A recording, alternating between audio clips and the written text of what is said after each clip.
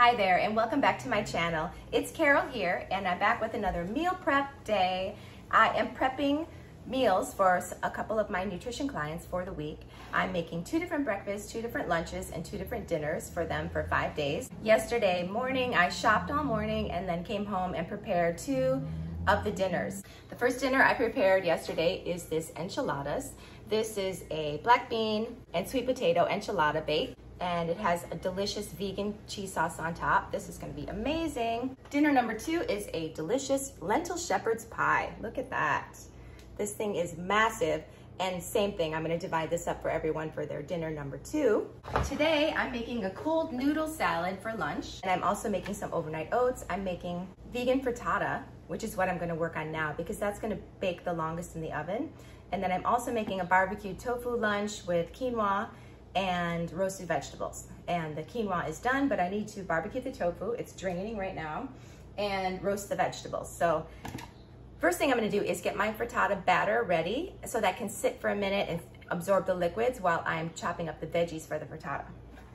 This frittata is going to have chickpea flour in it. I used to make my frittatas with only chickpea flour or only tofu, but I found that the combination of the two is really delicious. So I'm using one cup of whole chickpeas. These are just whole dried chickpeas.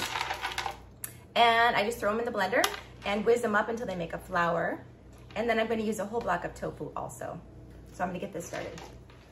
I wanted to show you the overnight chia oats I'm doing. They're sweetened with banana. They've got some hemp seeds on top and blueberries. These are so delicious and you can just stick it in the fridge and carry it with you for your breakfast.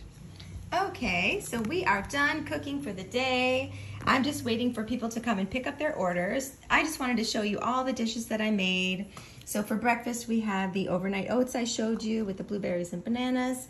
And then the other breakfast is this vegan frittata um, with roasted potatoes and a little bit of spinach on the side. The lunches that we have are the barbecued pineapple tofu with quinoa. There's quinoa under there and roasted vegetables. And the other lunch is our Asian noodle bowl with the chickpeas.